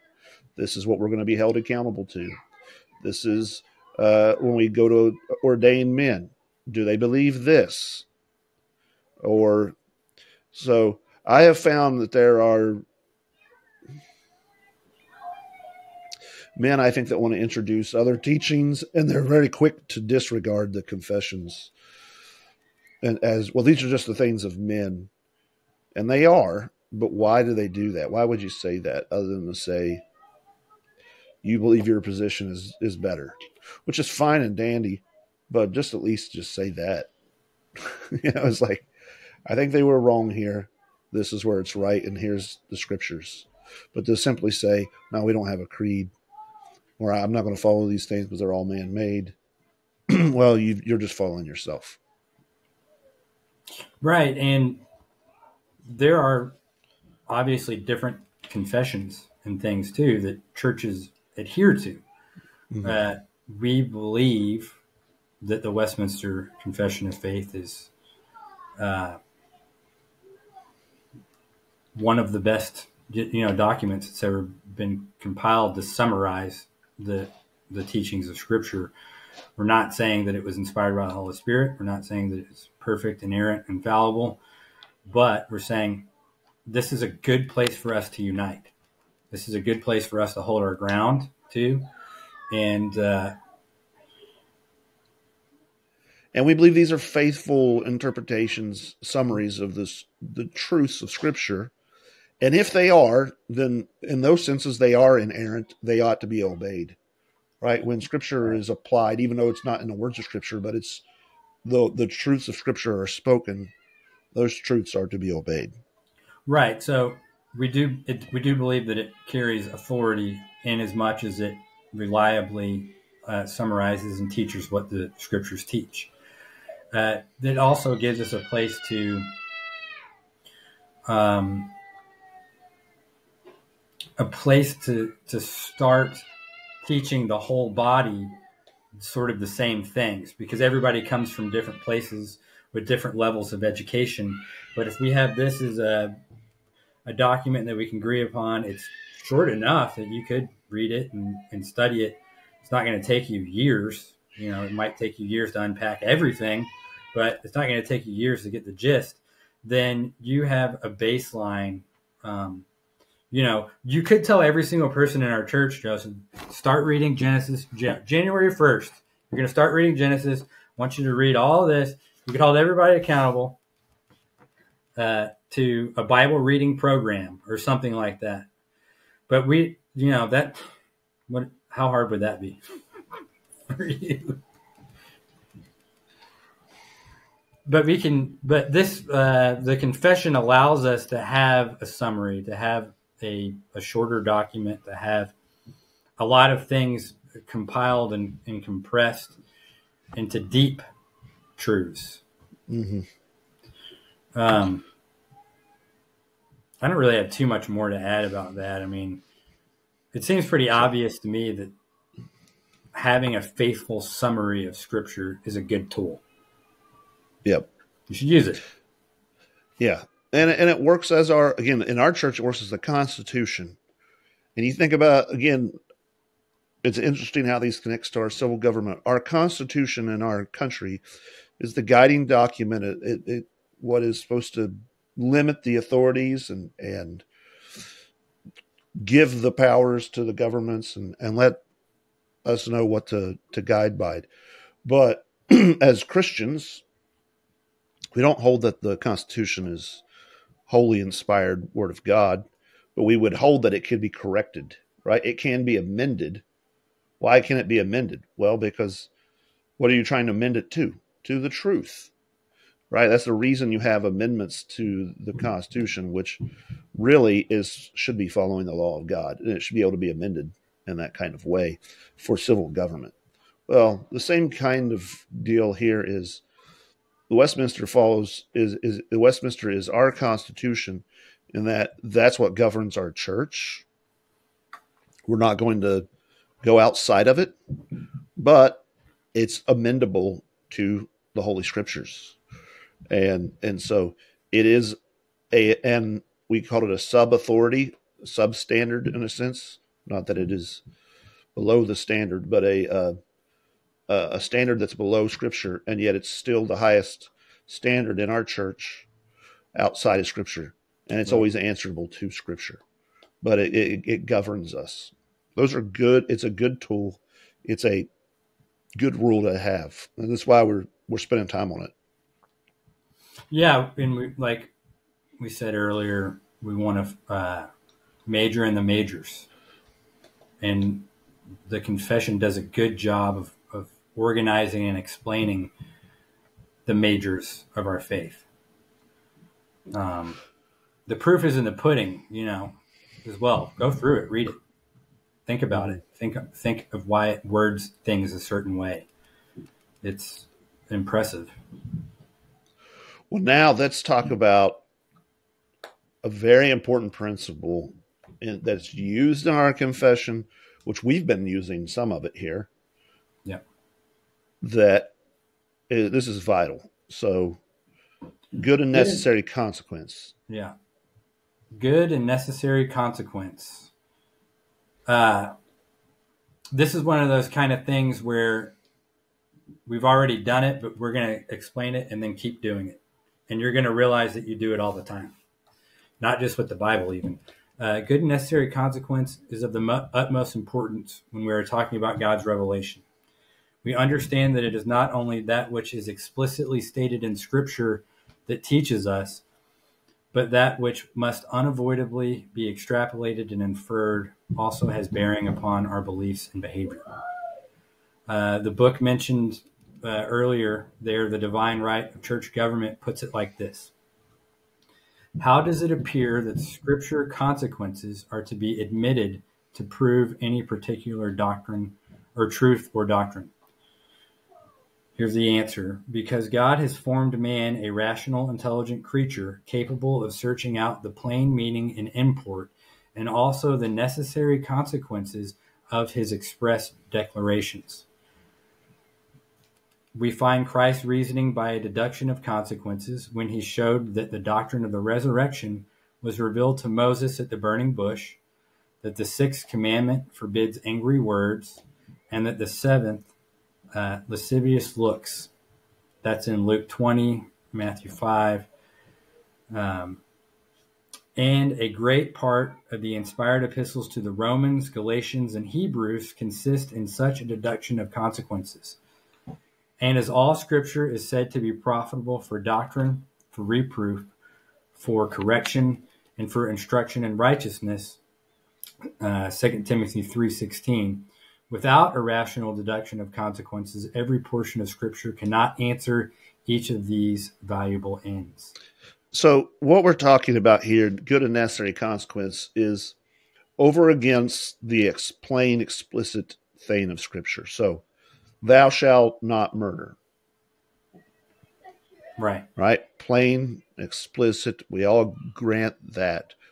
But are there any implications or consequences of that command that we deduce from that? We think, we use our mind that are necessary that flow from it and are good.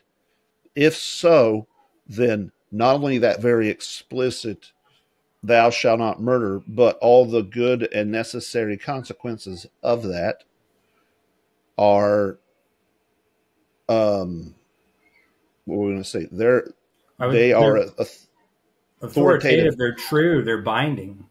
that's the word binding and authoritative on us for example with thou shalt not murder the opposite of that is inferred which is that To we should protect life. life. and so that means then from good and necessary consequence we have the duty as part of god's ten commands to preserve life which would include self-defense Right. And we see that also played out in other parts of Scripture. So you can make that deduction from good and necessary consequence and also support it and uh, shape it by what the rest of Scripture teaches.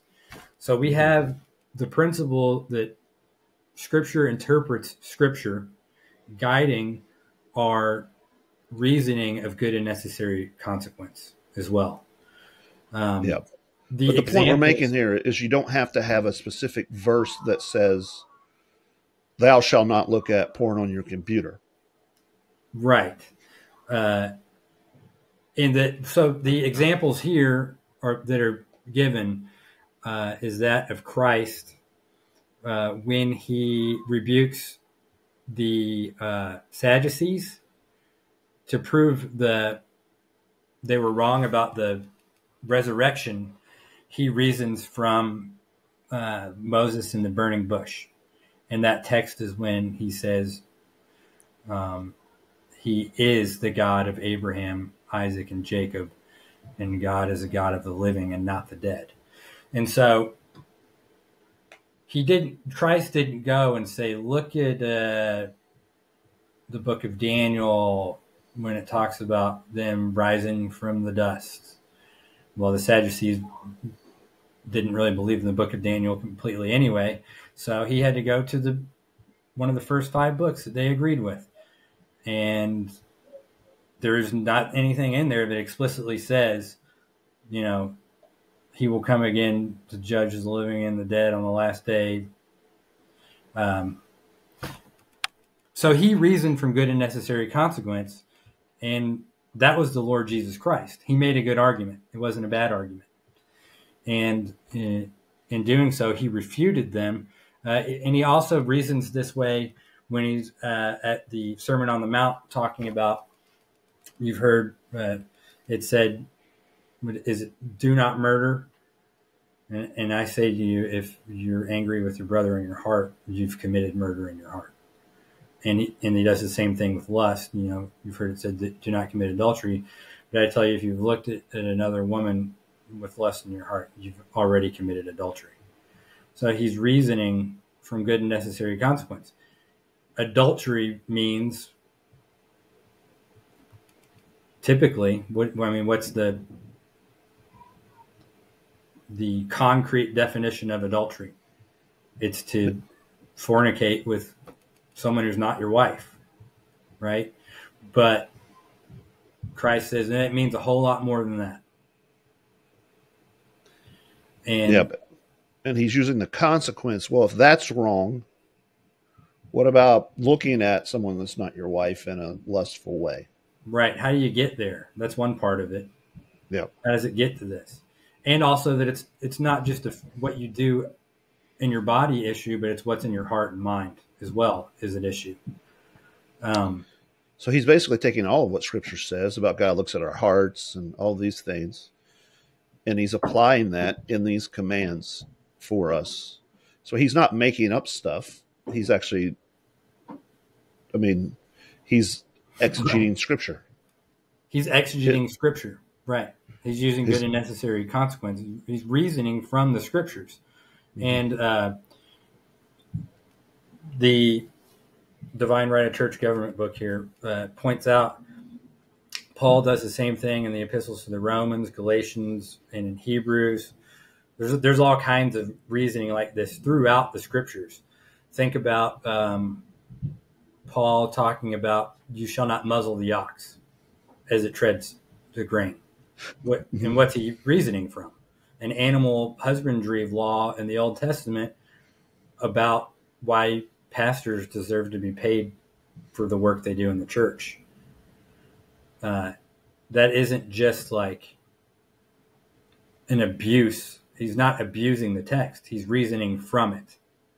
And he's not hyper spiritualizing it. What he's doing is saying, if it is true that you don't keep an animal from enjoying the fruit of its own labor, how much more the spiritual shepherd that God has given you would you keep from enjoying the fruit and having fruits from his labors? So uh, it's there's reasoning there from the lesser to the greater. Right. That, and Paul doesn't even have to spell that out. You can tell that that's what he's doing. Yeah. Yeah. Uh, and so they point out here that all of Scripture is said to be profitable for doctrine, for reproof, for correction, and for instruction in righteousness. If all of Scripture is supposed to be profitable for uh, teaching and instructing, correcting, reproving, then we need to be able to understand it past just its uh, black and white immediate context uh, interpretation it, it we need to be able to interpret the text into broader context and apply it to all of our life. If we can't do that, then what it says here in 2 Timothy 3:16 would not be accurate. All of scripture wouldn't be profitable mm-hmm. for all of these things. Um, so I, have got some examples, some more examples of how we do this normally. Uh, the Trinity, the nowhere in the scripture does it explicitly say in one passage, one verse, one chapter, spell out the doctrine of the Trinity for us. we examine multiple scriptures and what you know the Bible teaches about there being one God, the Bible teaching that the Father is God, Jesus is God, the Holy Spirit is God, but the Father's not the Son, the Son's not the Holy Spirit, the Holy Spirit's not the Father. We take all those teachings together and we come up with the doctrine of the Trinity. But it isn't explicitly spelled out in any one particular place. We let women take the Lord's Supper. There are no examples, I dare you, of women taking the Lord's Supper in Scripture.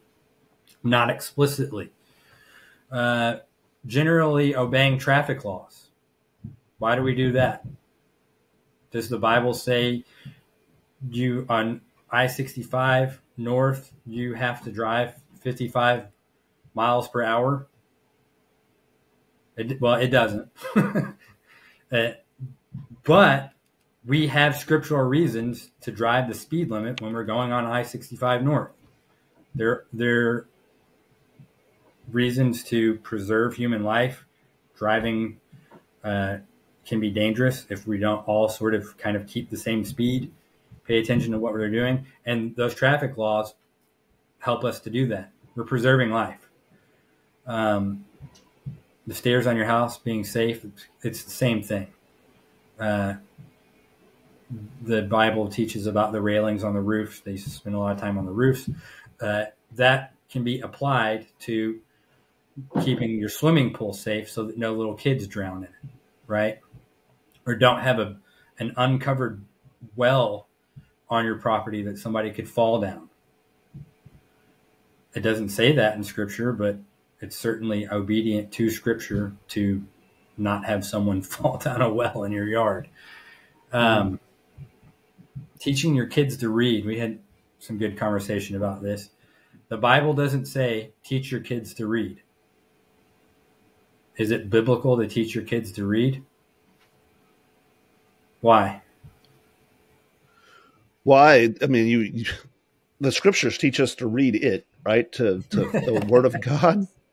All right. Yeah. And how can a young man keep his ways pure, right? It, it's by the word of God. Then it's by good and necessary consequence, then, that he's able to read or to understand it being read to him at the very least. Right? There's education involved to understand the Word of God. And if you look at, uh, for example, Psalm 119, that verse I quoted, uh, it's written, it's long, the longest chapter in the Bible, but it's about the Word of God and the wisdom that comes from it. And it's written in a way that is a mnemonic, that is, every section begins a different letter of the Hebrew right. alphabet. So it's actually a way to teach your children the Hebrew alphabet. It's a way to teach them to read itself. And so uh, um, it's certainly implied that it's good and necessary for your children to read. This is why Christians everywhere they've gone have worked to improve the literacy rates of places around them. You go to anywhere where missionaries, particularly Protestant missionaries, have been, the literacy rates are higher. Right. But Joseph, you didn't give me the verse. Where's the chapter and verse? Thou shalt read in Hesitations chapter 2. but I, I, just say that to point out how, how silly it is to require a, a chapter and verse proof text um, when you can reason from multiple scriptures, not explicitly, but this, those scriptures about uh, a young man keeping his way by the word of God, yeah. scriptures about parents uh, instructing their children to, to know and fear the Lord. It makes sense that you would teach your children to read in order to obey those scriptures. What if your child is blind? You can still teach them how to learn the scriptures, right? Yeah. So, so your responsibility changes given the context, but you're still, or how you keep up with that responsibility changes given the context. But, you know, it would be foolish not to teach your children how to read. Also, mm-hmm. well, what a what a curse it would be to them if you allowed them to grow up not being able to read street signs or Well, it would be a disobedience to God's word, is what we're saying. Not just even just a matter of wisdom; it's a disobedience to God's word, not to teach your children. Uh, uh, to it, it, again, I want to give some context to it, like you said, a blind person, or maybe some exceptions, but to refuse to teach your children to learn to be able to read Scripture, um, is disobedience to the Word of God. it, it's disobedience. It's failure as a parent. You're you're not doing the responsibility that God has given you, and we could give more reasons. We've already given enough, I think, but we could give more reasons why it's true, without the Scripture explicitly saying, you know, on by the eighth year, your child must be able to read uh, sixty words a minute or whatever. Yeah. It doesn't require that uh, for us to know that it's true and believe it and hold each other accountable for it. You No. don't have on there. You're missing. Oh no, it's under etc. There, I see it. You have teach your children read it, etc. And by good and necessary consequence, that means baptize your children. But we'll. No, that one you have to have a chapter and verse for. You have to. Yeah, yeah, yeah. Uh, No. anyway, Anyways, that'll bog us down. Get us into what it means to be good and necessary, because that's the, the most important part of this. So there are some things that are matters of wisdom, or the light of nature, uh, Right. prudence, godly wisdom principles from Scripture, but they don't necessarily put us on a requirement of to do this or not do this is direct disobedience to the word right. but but uh, uh, there are other things where it's like no to not do this is direct disobedience to the word. So what's the difference between good and necessary and versus godly wisdom that flows? Like i'll throw out an issue. Is homeschool a good and necessary consequence of scripture or an issue of wisdom and prudence that scripture may shed light on Okay, so that depends on the circumstances. Uh, the scripture doesn't prohibit schools, right? no okay A school could be a, a tool that you use. You're responsible to make sure that your children are educated. You could supplement uh, some of your work in that with a school. Uh, do you have a school that isn't going to corrupt your child available? If you do not have, if sending your child to the only schools that you have available is going to uh, corrupt your child and work against their uh, learning about and fearing God, then you should homeschool, right?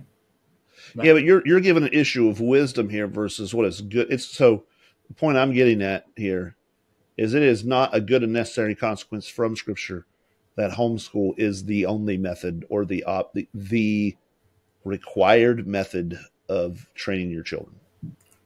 What you're doing is you're actually you're not you've moved from good and necessary consequence to biblical wisdom and using something that you were you uh, you used some good and necessary consequence, which was it is from Scripture that we are to give our children a Christian education, Right. and that we're we're not to send them to, uh, we're not to give them a pagan education, or to to put them to be in places where they would be corrupted.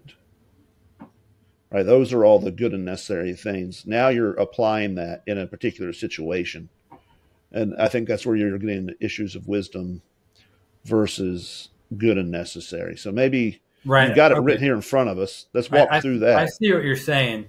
But I'll read this and then we'll talk about homeschool afterwards. We'll, we'll, we'll try to apply it. Uh, consider that our logical deductions from Scripture are to be both good and necessary. It may be good to eat a piece of apple pie or give everything we own away to charity. but it does not necessitate that we must eat a piece of apple pie and give everything away simply because it might be good in some sense. So, uh, being good and necessary is what makes an extrapolated teaching binding, the necessary part. Necessary meaning that it is a logical conclusion that cannot be avoided. It may not be explicitly necessary to attend church at 10:30 a.m. on Sunday, but the light of nature and Christian prudence suggest 2:30 a.m. is not a good time.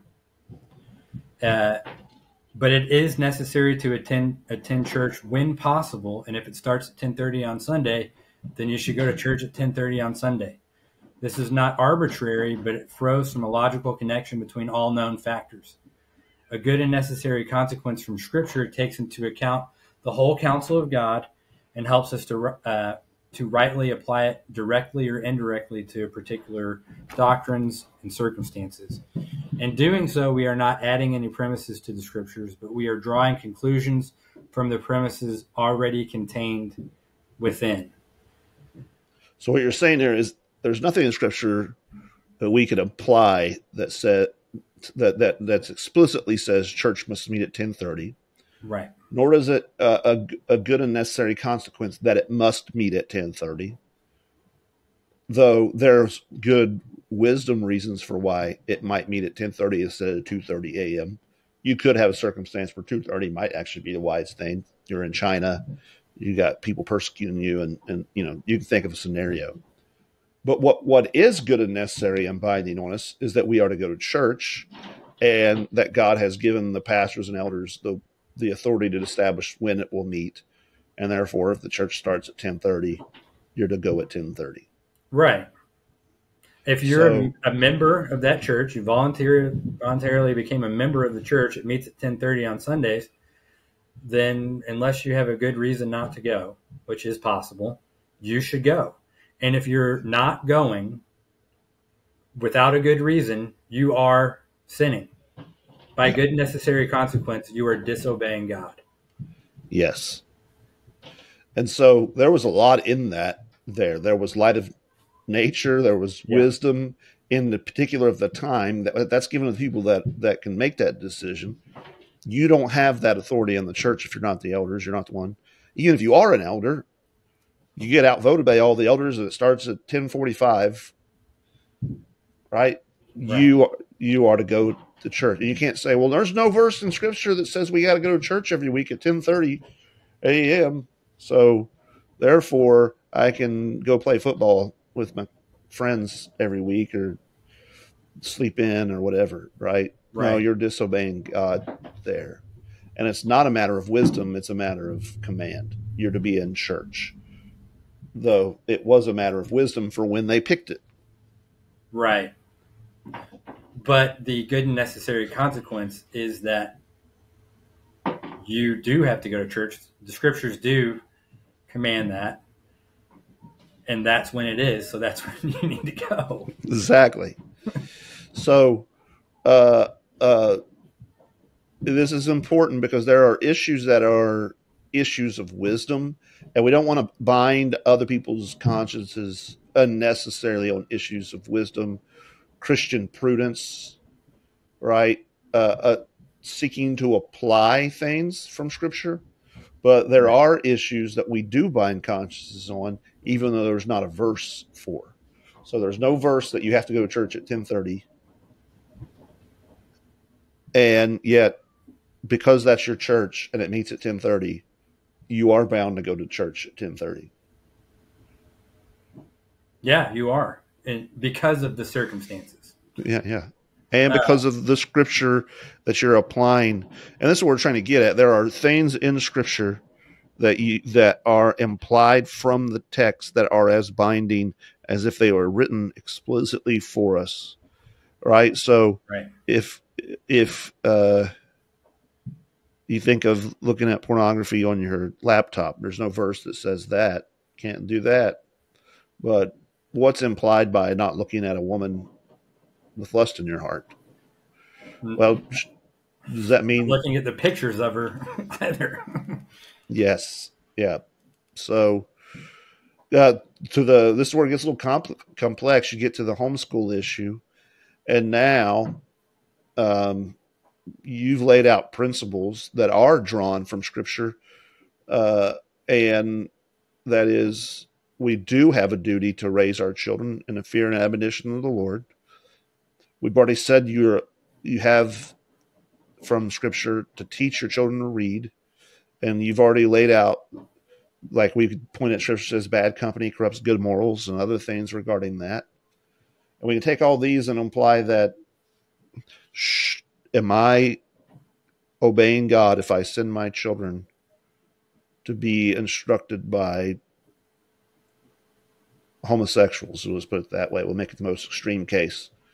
Drag queen story hour stuff.